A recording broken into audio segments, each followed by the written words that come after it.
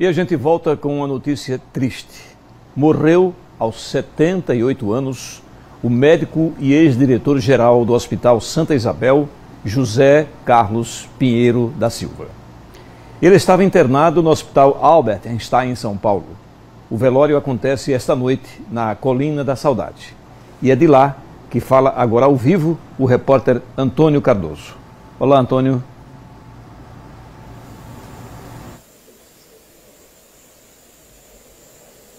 Olá, Gilvan, boa noite, boa noite a todos que nos acompanham a partir de agora no Jornal do Estado. A gente está aqui no cemitério Colina da Saudade. Neste momento ainda não há ninguém. Algumas homenagens lá atrás de alguns hospitais também, da própria maternidade, como você falou, Hospital e Maternidade de Santa Isabel. Alguns políticos também já deixaram aqui as suas lembranças, mas por enquanto ainda não há ninguém. O velório está marcado para daqui a pouco, a começar às 10 horas da noite de hoje. Já o sepultamento vai ser às 11 horas da manhã de amanhã.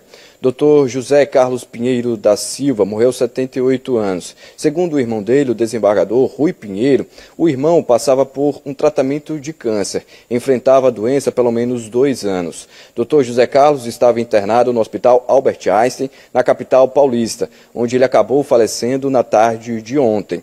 José Carlos Pinheiro da Silva foi o diretor do Hospital Maternidade Santa Isabel ex-presidente da Associação Aracajuana de Beneficência e também foi diretor do IPS, hoje IPS Saúde. Como eu falei, ele enfrentava esse câncer há pelo menos dois anos. O irmão, Rui Pinheiro, desembargador, estava com ele em São Paulo quando ele faleceu. Dr. José Carlos Pinheiro, também irmão da juíza aposentária Clécia Pinheiro.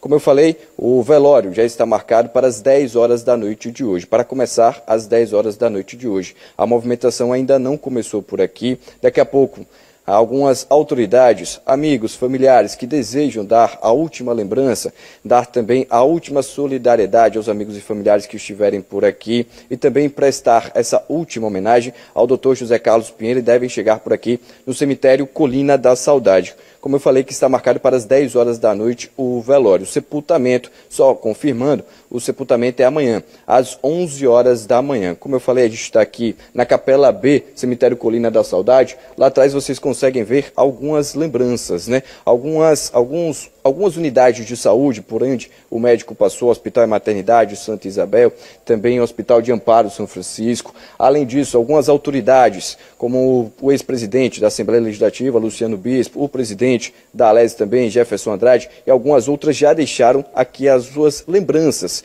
as suas homenagens ao doutor José Carlos Pinheiro. Só confirmando a informação, amanhã o sepultamento às 11 horas da manhã, o velório começa daqui a pouquinho às 10 horas da noite. Givan.